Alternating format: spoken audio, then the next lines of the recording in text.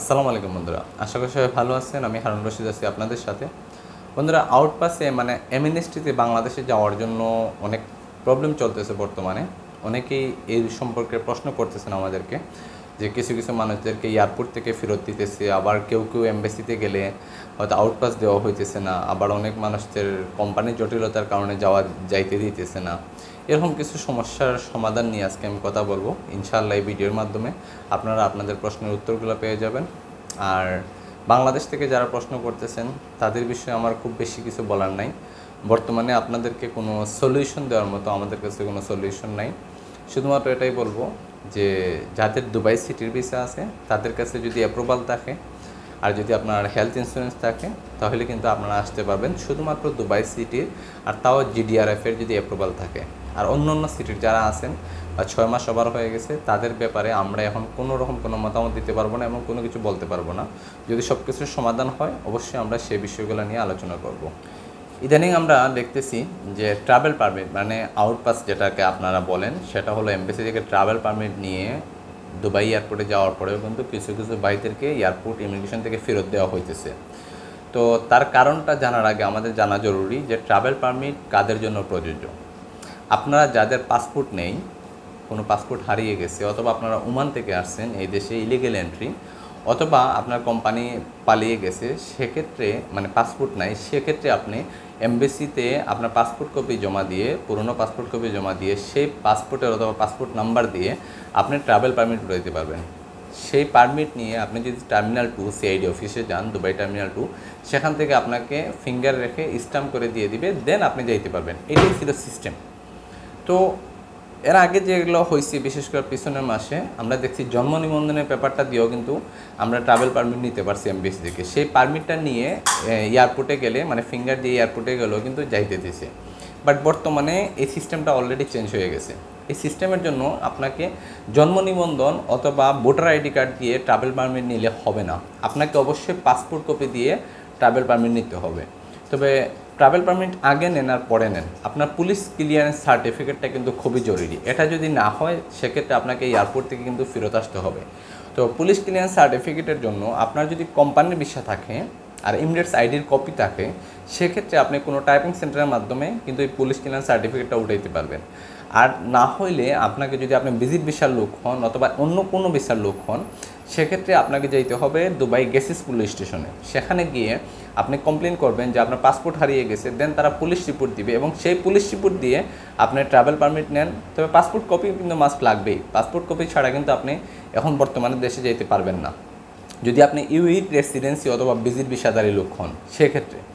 দেন আপনি police clearance certificate এখান থেকে উঠাইবেন। উঠানোর পরে তারা একটা পেপার দিবে সর্বপ্রথম পুলিশের পক্ষ থেকে। সে পেপার নিয়ে আপনি যাইতে হবে দুবাই কোর্টে সেখানে একটা স্টাম্প দিবে দেন যাইতে হবে ইমিগ্রেশনে তারা একটা স্টাম্প দিবে। তারপরে এটা এনে আপনি দুবাই পুলিশ স্টেশনে যখন জমা করবেন, তখন একশো সত্তর দেড়হামের বিনিময়ে তারা আপনাকে একটা ট্রাভেল পারমিট দিবে। মানে পুলিশ ক্লিয়ারেন্স সার্টিফিকেট দিবে। আপনার পুলিশ ক্লিয়ারেন্স কমপ্লিট দেন আপনি ট্রাভেল পারমিট নেন এমবিসি থেকে, আর আপনি ফিঙ্গার দেন টার্মিনাল টুতে সিআইডি অফিস যে সিকিউরিটি অফিস সেখানে আপনি গেট নাম্বার থ্রিতে আপনি যদি গিয়ে ফিঙ্গার দেন, আপনি ঝামেলা মুক্তভাবে দেশে যাইতে পারবেন, কোনো রকম সমস্যা হবে না। কিন্তু এখন আমাদের যে প্রবলেমটা হইতেছে, সবাই আমরা ট্রাভেল পারমিট দিতেছি এমবেসি থেকে, যদি এমবেসি দিতে চায় না, জোর করে হইলে আমরা নিতে চাইতেছি। যে আমাদের ট্রাভেল পারমিটটা দরকার। সেই পারমিটটা নিয়ে আপনি যাইতেছেন সিআইডি অফিসে তো সিআইডিরা কী করতেছে? যেহেতু আপনার ট্রাভেল পারমিট আছে, তারা একটা স্টাম্প দিয়ে আপনার দিয়ে দিতেছে। অথবা কারও কারও ক্ষেত্রে বলতেছে যে, আপনি পুলিশ ক্লিয়ারেন্স নিয়ে আসেন। যাদের ক্ষেত্রে পুলিশ ক্লিয়ারেন্স নিয়ে আসতে বলা হইতেছে, তাদেরও পুলিশ ক্লিয়ারেন্স লাগবে এবং যাদেরকে বলা হইতেছে না, তাদেরও লাগবে। আপনার পুলিশ ক্লিয়ারেন্স সার্টিফিকেট ছাড়া আপনি এয়ারপোর্টে এখন পাস পাবেন না। এটা এক নম্বর সেকেন্ড হলো, যারা ওমান থেকে আসতেছেন অথবা অন্য কোনো দেশ থেকে ইলিগেল এন্ট্রি দিচ্ছেন সেই ক্ষেত্রে আপনার পুলিশ ক্লিয়ারেন্স সার্টিফিকেটটা জরুরি না। যদি আপনার পাসপোর্ট না থাকে সেক্ষেত্রে আপনি যখন ট্রাভেল পারমিটটা সিআইডি অফিসে জমা করবেন, তারা আপনাকে আউটপাস নামের একটা পেপার দিয়ে দিবে। সেখানে আপনার এক্সপায়ারি ডেট সহ লেখা থাকবে। সেই পেপার দিয়ে কিন্তু আপনি পুলিশ ক্লিয়ারেন্স সার্টিফিকেট ছাড়াই দেশে যাইতে পারবেন। এবং আমাদের মোটামুটি আমাদের অনেক মানুষ এরকম যাইতেছে এবং গেছেন।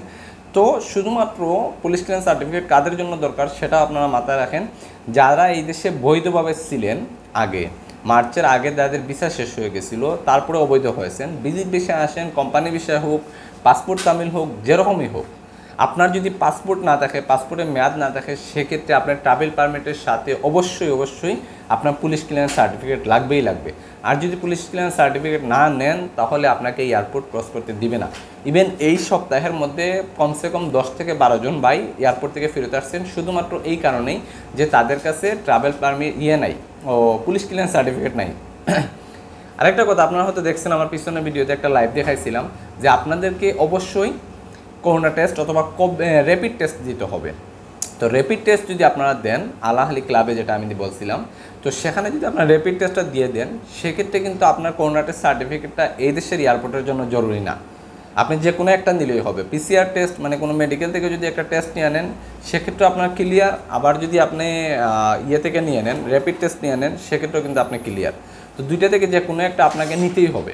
তো যে কোনো একটা নিলেই ওকে আছে। এখন আপনি যদি র্যাপিড টেস্টটা নেন, সেক্ষেত্রে আপনি ফি নিতে পারবেন।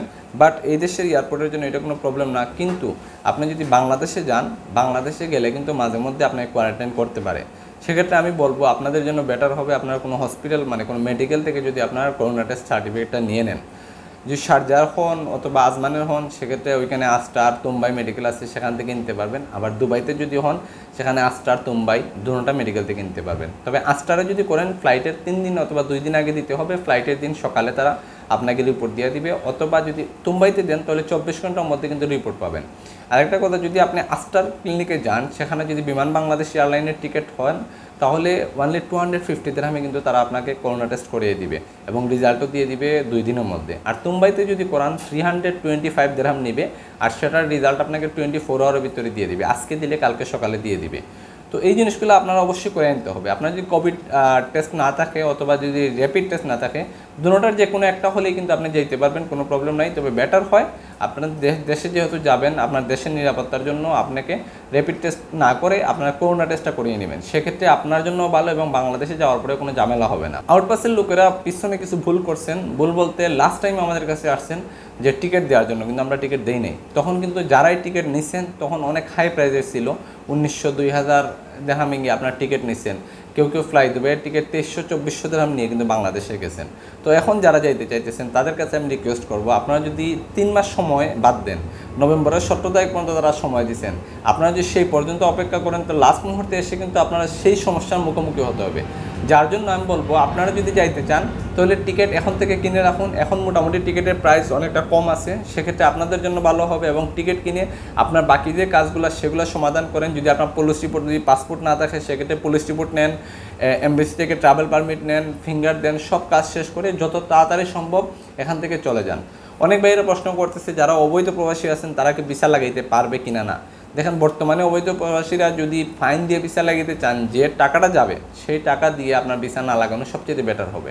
আমার অনুরোধ থাকবে, যারাই অবৈধ প্রবাসী ভাইরা আছেন না কেন, তারা যত দ্রুত সম্ভব আপনাদের কাজ শেষ করে আপনারা চলে যান। আশা করি আউটপাস সম্পর্কে আপনাদের আর কোনো প্রশ্ন থাকবে না আমার কাছে, যেহেতু আমি সব কিছুর উত্তর দিয়েছি। আপনার ট্রাভেল পারমিট নিতে গেলে এমবিসি যোগাযোগ করবেন। আর হ্যাঁ কোনো কারণে যদি আপনার পাসপোর্ট কপি না থাকে, তাহলে সেটা জোগাড় করতে হবে। পাসপোর্ট কপি না থাকলে আপনারা টিকিটও কিনবেন না ট্রাভেল পারমিটও নেবেন না, কিচ্ছু করবেন না। পাসপোর্ট কপি যদি না থাকে, পাসপোর্টের ডিটেলস যদি না থাকে মোবাইলে একটা ছবি থাকলেও আপনি নিতে পারবেন।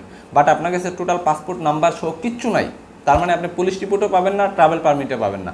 এবং এমবেসি আমার মনে হয় না যে আপনাকে বর্তমানে জন্ম নিবন্ধন অথবা ভোটার আইডির উপরে ইয়ে দিবে।